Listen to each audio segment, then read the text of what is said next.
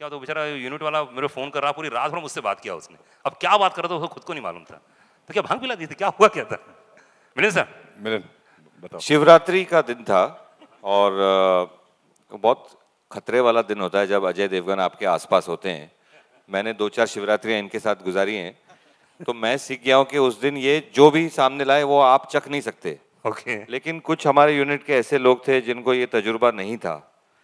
अ, तो एक एक वक्त के बाद हम एक्शन सीन शूट कर रहे थे जिसमें आपने देखा जीप उड़ रही है वो पहाड़ से।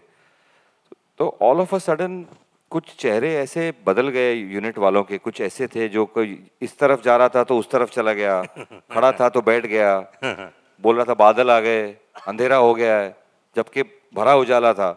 तो वहाँ से बैकवर्ड जब हमने ट्रैक किया तो पता चल गया कि ये सारा कुछ महाशिवरात्रि का हाँ, बिल्कुल बिल्कुल।